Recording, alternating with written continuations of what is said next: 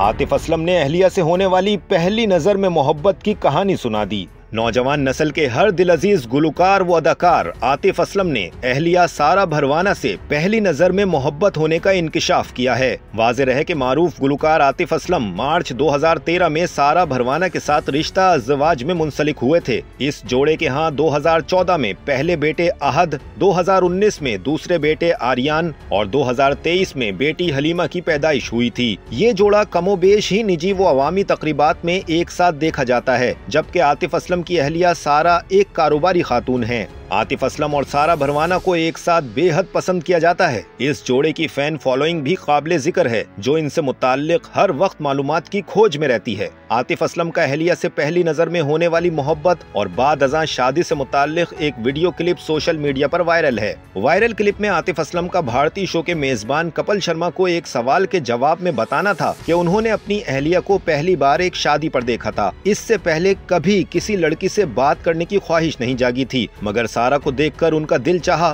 कि वो इस लड़की से बात करें।